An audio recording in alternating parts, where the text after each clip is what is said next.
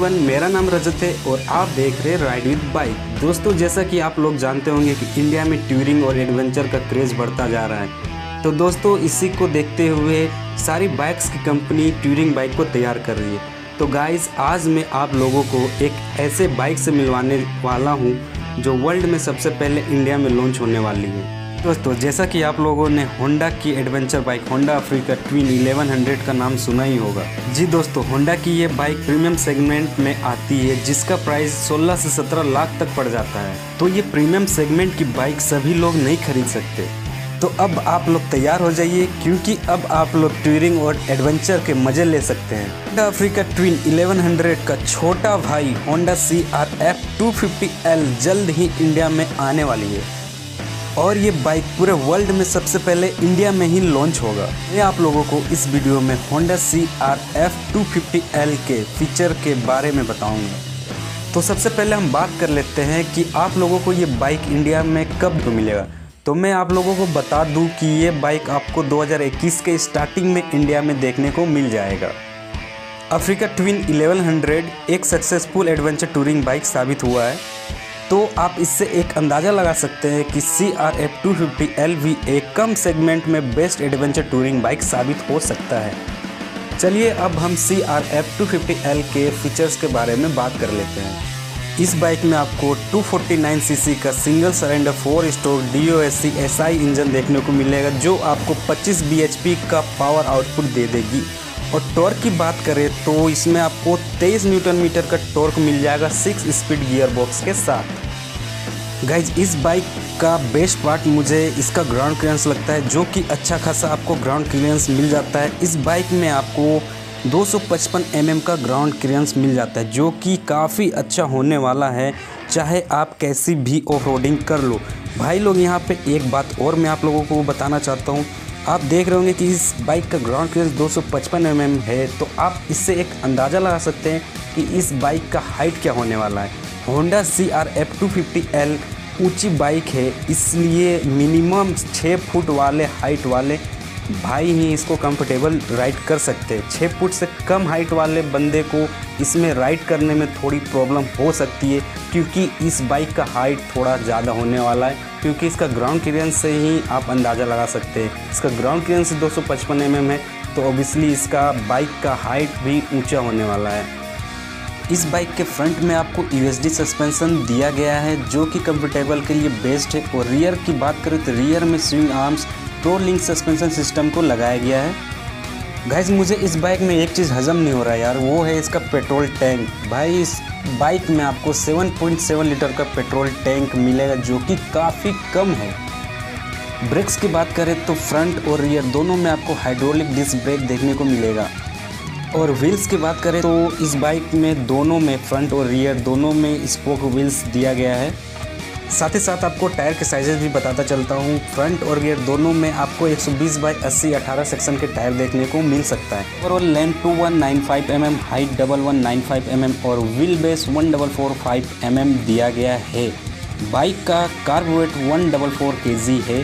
Fully digital console देखने को मिलेगा। माइलेज की बात करें तो आपको 38 से 42 किलोमीटर पर लीटर का माइलेज दे सकती है बाइक अब बात कर लेते हैं इसके मेन पॉइंट की, इसका प्राइस क्या होने वाला है। Honda C R F two fifty L का ex showroom one lakh sixty thousand के आसपास हो सकता है और ऑन रोड ये आपको टू लाख तक पड़ सकता है। तो गाइज़ अगर आप एक proper touring adventure off roading bike लेने का प्लान कर रहे हैं, वो भी कम बजट वाले सेगमेंट में तो आप ये बाइक ले सकते हैं। आशा करता हूँ आपको मेरे द्वारा दी गई इन्फॉर्मेशन अच्छी लगी तो आप वीडियो पर लाइक ठोक दीजिएगा।